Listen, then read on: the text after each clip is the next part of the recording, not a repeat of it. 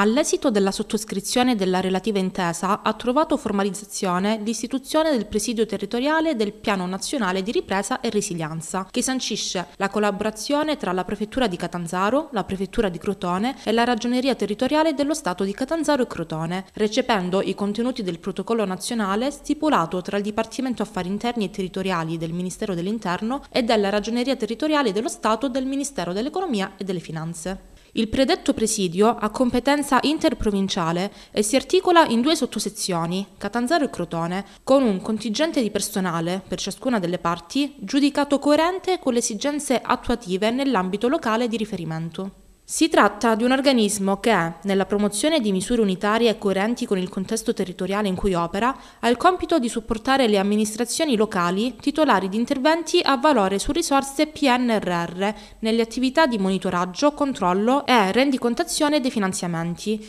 nel duplice fine di sostenere le fasi di avanzamento e di condurne un'attenta azione per la prevenzione e contrasto dei tentativi di condizionamento criminale. Una specifica attività formativa, rivolta al personale degli enti locali, completerà la generale azione di sussidio, rivolta pure alla pronta rilevazione di eventuali criticità e alla definizione di linee condivise di interventi d'ambito per il progressivo superamento.